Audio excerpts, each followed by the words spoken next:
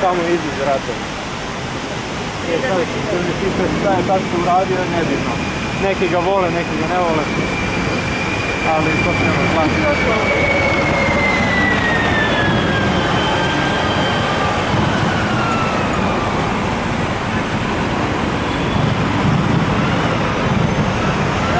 Đorđevo smrt. To je samo u kaže, oni ubili Karadžorđa. Blizu, blizu mesta gdje, gdje sam ja ovaj, rođen, tamo su ubili Karadžorđe. Mm. Karađorđe, ne znam znaš ko je Karađorđe, on je bio zadužen za prvi srpski ustanak. Digo je prvi srpski ustanak, ustanak po oslobađanje Srba od Turaka. Mhm. I on, on, je- on je jedan od najvećih vojskovođa svih vremena. Čak mislim da ga je Napoleon pominjao kao lako je meni sa ovolikom vojskom. Ali vidite kaže šta je Karađorđe napravio sa ono malo šake, seljaka. I njega su posle ubili, Ubio ga je njegov ubio ga je kum. kum.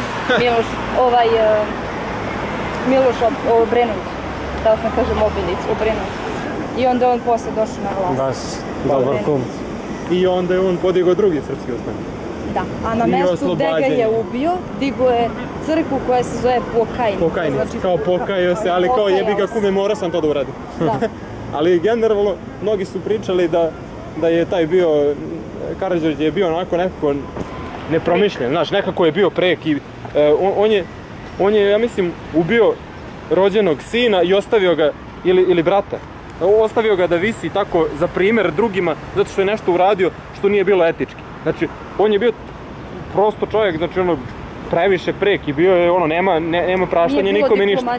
Bio je čovjek, znači, to se tako radi, to se tako ne radi, i tačka. I nema veze da si familija ili, nisi, znači ima da visiš ako si pogrešio i to je to.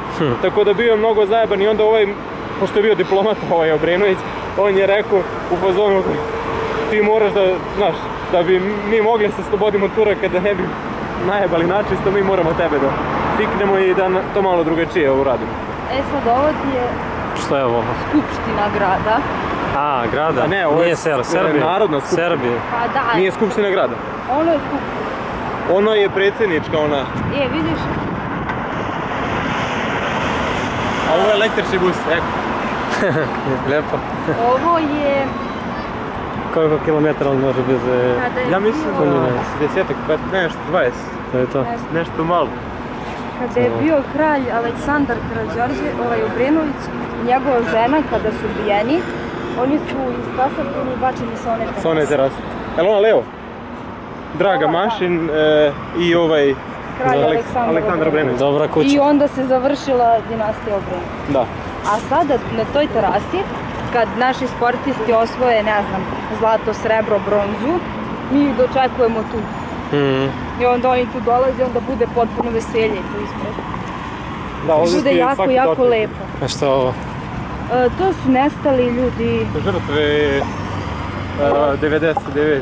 A, ovo je... je Kosovo. Ubijeni, oteti. ubijeni oteti, prodani organi neki koji se ni ne znaju gde a? su. Pa da, eno vidim. A, Evo. ovo.